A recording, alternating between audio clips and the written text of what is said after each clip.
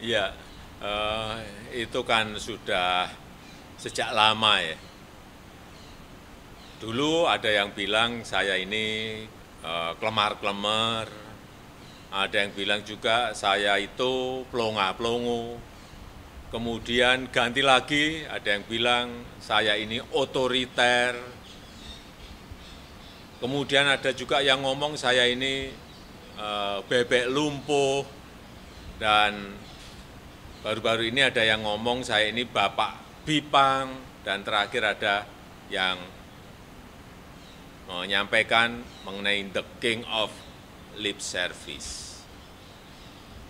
Ya saya kira ini bentuk ekspresi mahasiswa dan ini negara demokrasi. Jadi kritik itu ya boleh boleh saja. Dan universitas tidak perlu menghalangi mahasiswa untuk berekspresi. Tapi juga ingat kita ini memiliki budaya tata krama memiliki budaya kesopan santunan.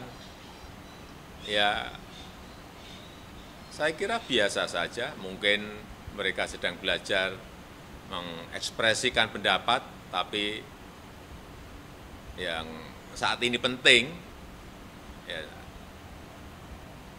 kita semuanya memang bersama sama fokus untuk penanganan pandemi covid sembilan belas